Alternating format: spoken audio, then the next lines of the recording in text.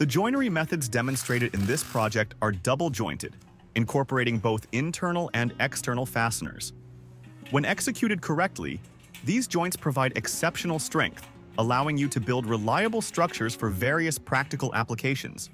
The possibilities are endless, limited only by your creativity. Now that the structure is getting too tall to film, let's bring it down to the ground for a better view. The remaining extrusions to install are all 4080 profiles. To ensure they sit flush, I've attached flush plates to both ends, allowing the extrusion to rest on top of the legs.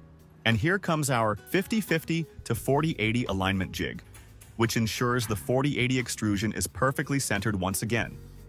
This jig works hand in hand with the flush plate above, each performing a different flush function to achieve precise alignment.